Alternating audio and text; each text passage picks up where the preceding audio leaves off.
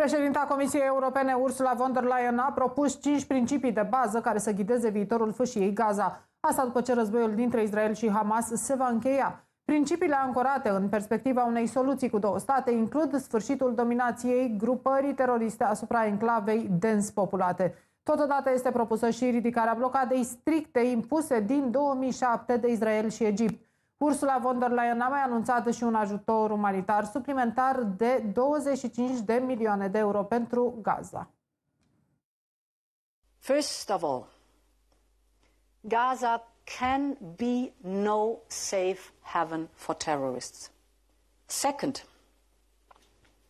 this implies that the terrorist organization Hamas cannot control or govern Gaza. There should be only one Palestinian Authority and one Palestinian state.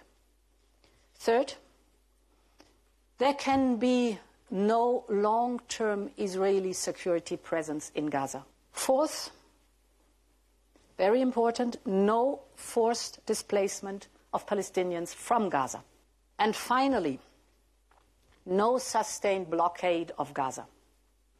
This policy has not worked.